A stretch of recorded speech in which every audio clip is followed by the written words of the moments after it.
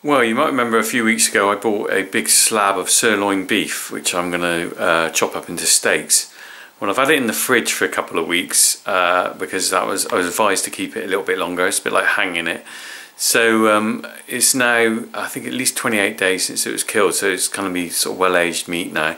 So I'm going to get it out of the fridge in a minute and I'm going to chop some up. Uh, I think I'm going to cut a joint out of it and then I'm going to make some steaks. I'm going to freeze some of them. So uh, we'll have a look and see what it looks like. Uh, maybe even cook a steak. Right, let's go to our fridge. As you can see it's covered in bonkers stuff, pictures of the kids and awards for school and things but um, I'm just going to go get a big piece of beef out. Got a nice bit of uh, pork in the back of there for a ham for Christmas but this is the bad boy. Oh!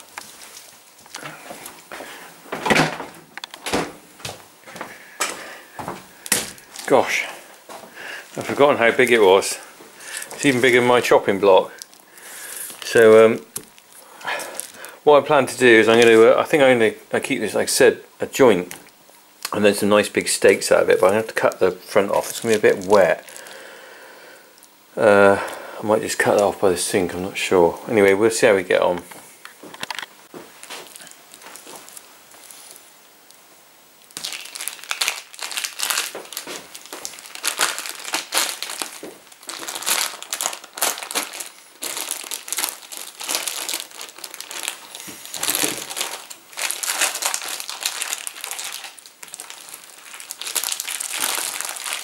Hmm. Well that is a big piece of beef and there's the label off it. You see that?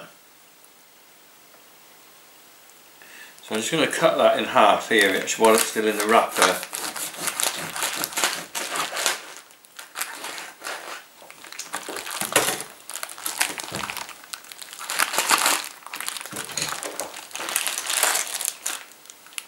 Oh, that's a big boy.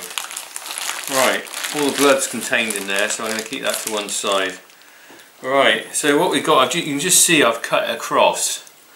And you can see the marbling in there, you can see a bit of fat in the middle there. That's not a problem, it's nice, and you can see flakes of fat across through there. Now it's always good to have some fat on meat, it makes it a bit tender when it's cooking and it gives it a bit of flavour. But that, that's a good piece of beef. Uh, I'm wondering which bit to keep for steaks and which bit to make a joint. Let's have a... I haven't got the best knife in the world.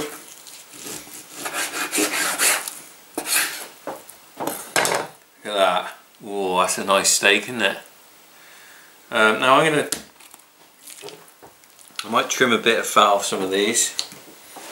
Don't need all the fat.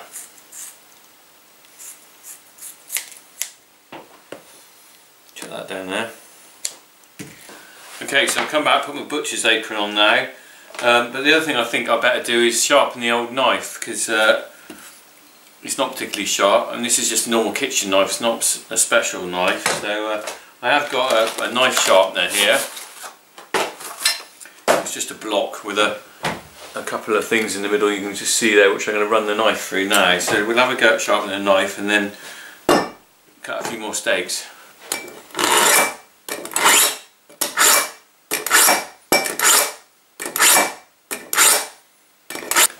Okay, so I sharpened my knife up. Not the best of knives, though. It's a cheapy thing from Ikea, so uh, I don't think we're going to get a great edge on that. But I'm going to cut these steaks now, and then I'm going to eat one.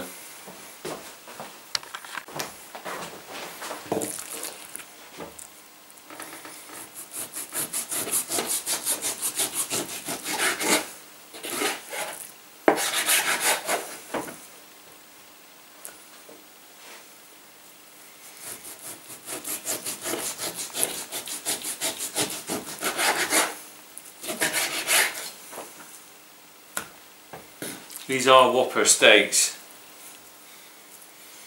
Maybe I should make them a bit thinner.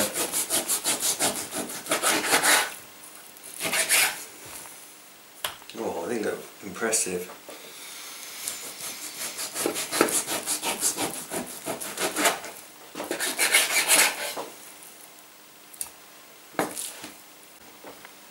Okay, so I've got this big piece left here. I'm going to get a joint out of that and some more steaks, I think. In the meantime I've got my plate of steaks here. Let's take them over into the kitchen, There's a bit better light over there. So, you can see I'm not a butcher, I'm just a farmer who's having a go at like most things in my videos, just have a go. Now I've chopped off a nice big juicy steak here. I don't mind the fat because you can choose to eat that afterwards but I'm going to stick that on the grill now. Okay it's not the tightest of steak you know presentation wise I haven't got that quite right but to be honest I'm sure it'll taste great. And these are these other ones here I'm going to put in the freezer but this one I'm going to stick under the grill now and we'll have a little look. A little taste test later. Let's put that over on the grill. And uh, we'll come back and check that later. Okay, so while the steak's cooking, I've just been busy chopping up the rest of the steak. Um, I've made a joint, I've put that in the bag already for the freezer. And I'm just going to put these in freezer bags now. I'm impressed with these meaty steaks, they're really looking good. I just can't wait to try one. Um, so I've got just normal freezer bags here. Uh, I'm just going to bundle them up and then I'm going to store them when I need a steak or me and my wife can have a steak dinner.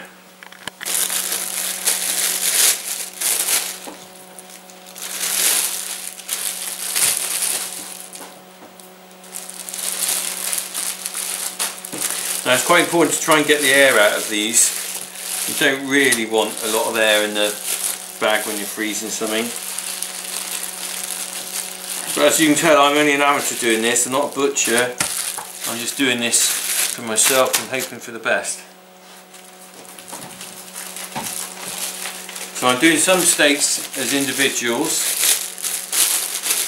because it might just be me who wants a big boy for tea or I'm going to do a couple of dozen couple of them as uh, doubles.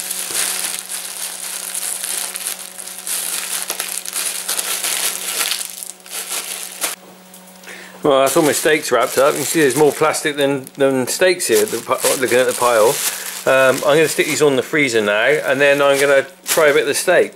Um, I haven't made too much of a mess. Luckily my wife's out, so she won't see what um, what's happened here until she watches the video. But we'll try a bit of steak in a minute after I put this lot away. Oh, you can probably hear the beeping there. I've just set the smoke alarm off with the steak. Let's have a quick look at it. I'll shut the door. Now I quite like my steak quite rare.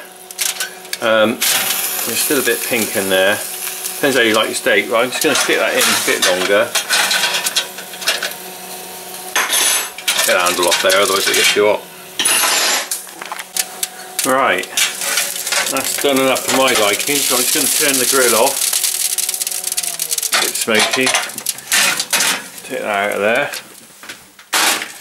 And we'll try what this, see what this is like. I can already tell it's going to be a good bit of meat. The way the fork just sinks in really well.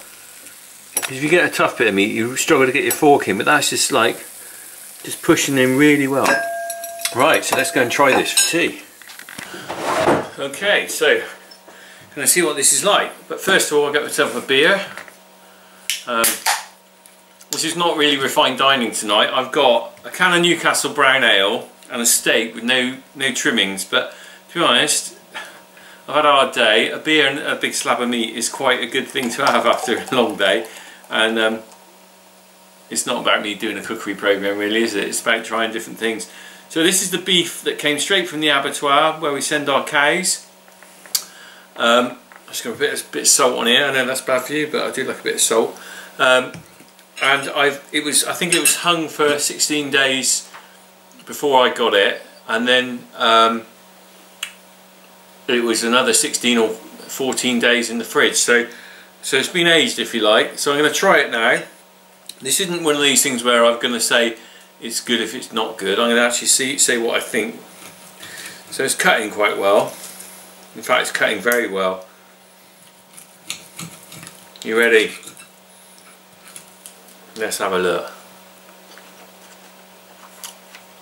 Mmm. Oh, spot on. Mmm. Blimey. I could I could eat about five of these. Oh. Oh, lovely. Mmm. I tell you what, I'm no chef, but um, at least I can cook steak. Anyway, um, this isn't. I'm not promoting beef, British beef or anything like that. I'm not. I'm not promoting Nuki Brown either. I just like it.